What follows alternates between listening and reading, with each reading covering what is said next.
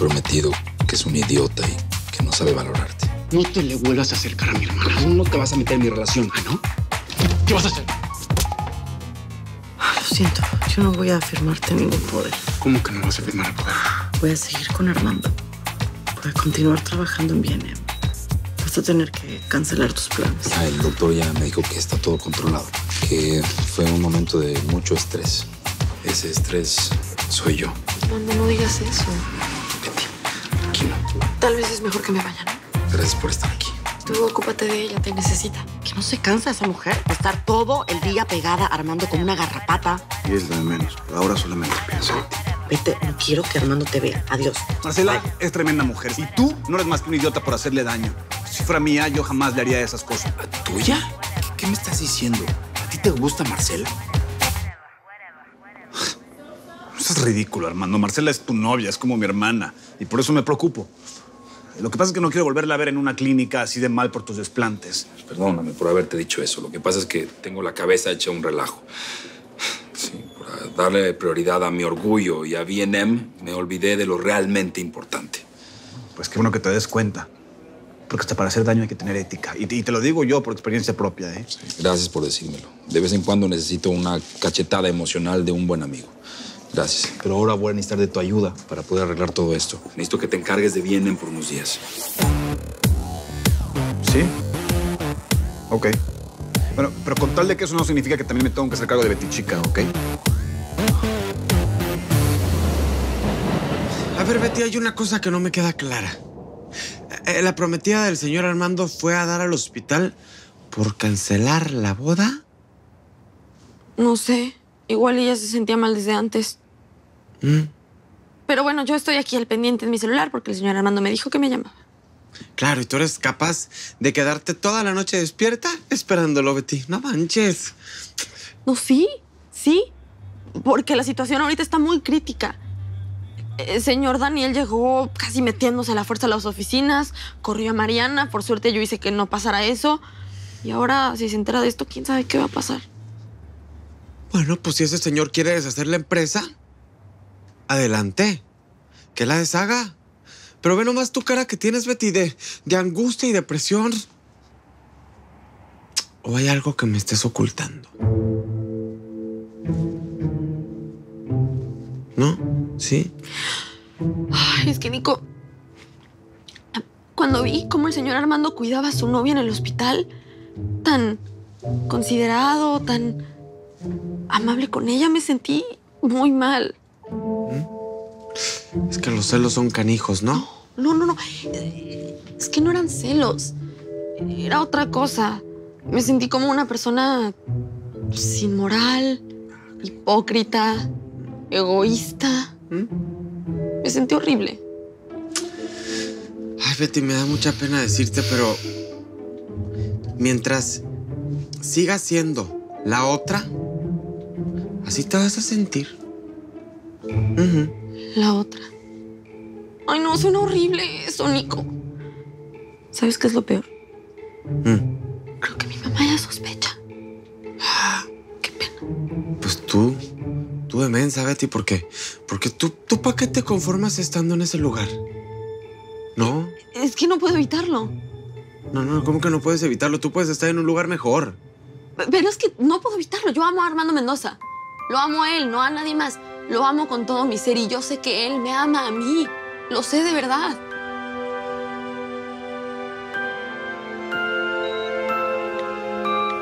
Armando, creo que ya es hora que te vayas. Yo no me voy a ir de aquí hasta que te recuperes. No digas tonterías. Mañana te tienes que despertar temprano para ir a B&M. Para eso está Ricardo. Él se puede encargar de todo hasta que tú y yo regresemos. ¿De verdad? Sí. Pues me sorprendes. Pues acostúmbrate, porque a partir de ahora tú eres mi prioridad.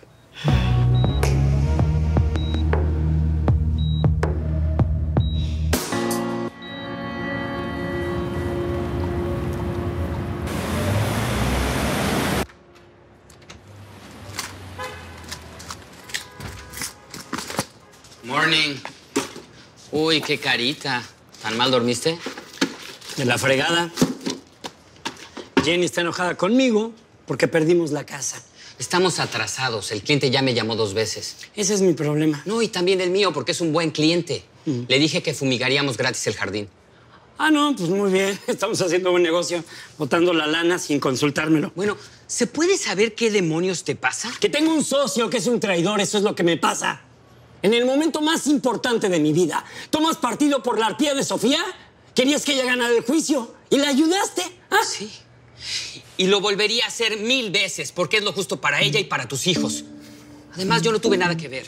Fue el juez el que lo decidió todo. ¿Vas a seguirla viendo? Claro que sí. A ella y a mis ahijados. Pues ella era mi mujer. Así es. Era. Pero tú mismo me dijiste que la dejaste de querer. Es libre y juntos la pasamos bien. ¿Tienes algún problema? Tú estás rehaciendo tu vida con Jenny. ¿Sabes qué? Tú no eres un buen amigo. Ok. Puedo vivir con eso. Yo tampoco necesito ser tu amigo. Pero tenemos esta compañía juntos y mucha chamba por delante. Voy cargando los equipos.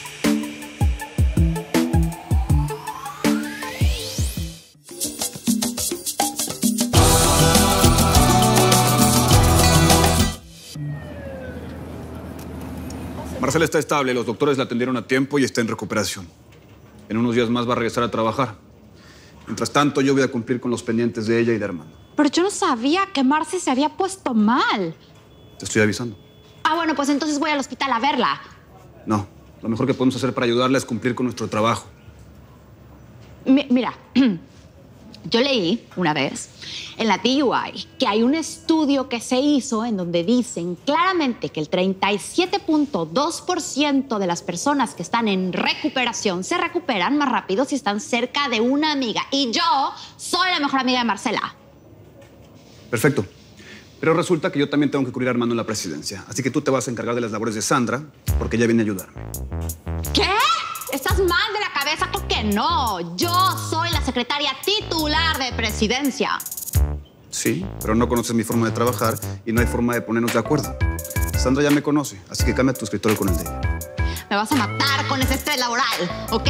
Burn out, así voy a terminar, igual que Marcela. ¿Qué me ven? I got the power. Woo! I got the power. Woo! I got the power. Woo! I got the.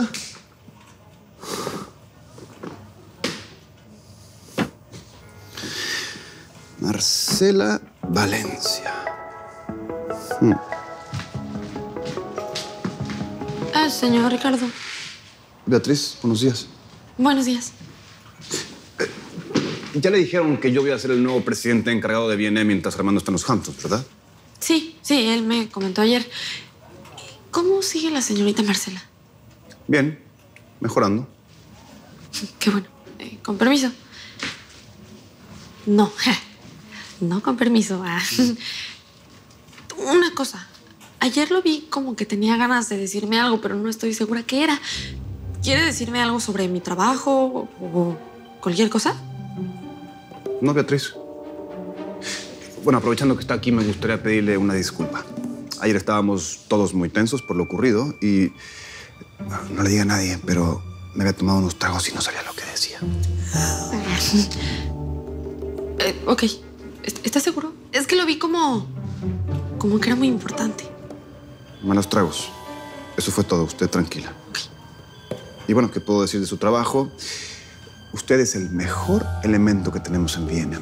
Así que váyase tranquila a su oficina. No le quiero quitar más tiempo porque nos espera un día muy complicado. Ok, sí, señora.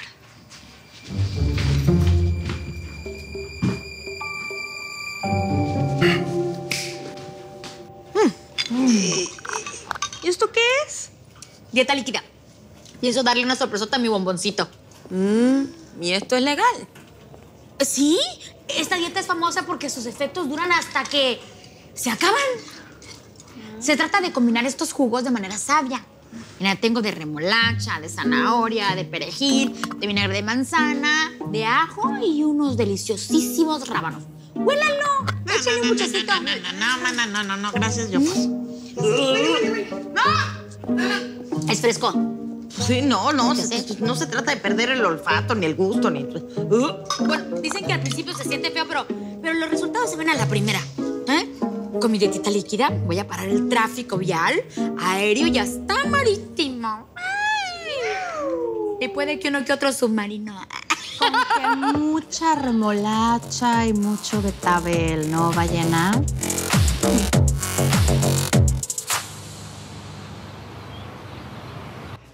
Están hermosas. No tenías por qué molestarte. ¿Te ayudo con el desayuno? No, no está bien, más bien... Creo que deberías aprovechar irte a la casa, bañarte, Otra cambiar. vez con lo mismo, Marcela. Yo no me voy a ir de aquí. ¿eh? Ah. Marcela, ¿de verdad ibas a cancelar la boda? ¿O fue solamente un impulso del momento? Sí, la iba a cancelar porque... Pues porque yo pensé que tú no te querías casar conmigo. Ay, pero por favor, llevamos tres años juntos. Sí, y- pero eso no significa que nos tengamos que casar. No, Entonces... pero yo quiero hacerlo. Mira, Armando, yo no quiero que tú confundas tus sentimientos con lástima. No. Yo te amo. Yo me quiero casar contigo, pero quiero que tú estés seguro de eso. Que lo pienses. Sí, sí, sí, yo, yo, yo no tengo dudas. Sí, y, y tenemos problemas, obvio, como todas las parejas, pero, pero yo me voy a casar contigo. Come, come algo. Ay, no, es que se aproxima la quincena, pero también tenemos que pagar las obligaciones con los bancos porque nos estamos atrasando por las fechas. Eso a la larga va a afectar el crédito de BNM. ¿Ah? Ah. Eh, ¿Y cuánto dinero necesitamos?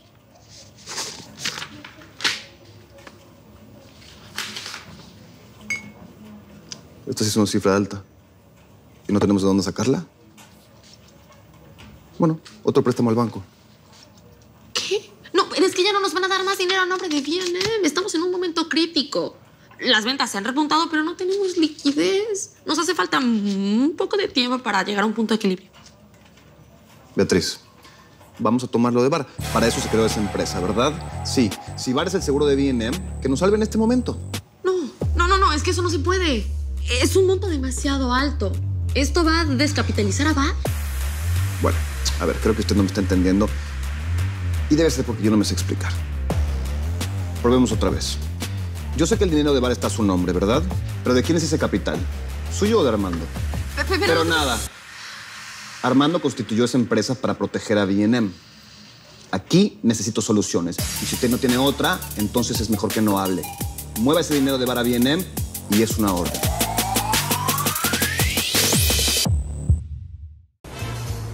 Nadie quedará indiferente a su paso.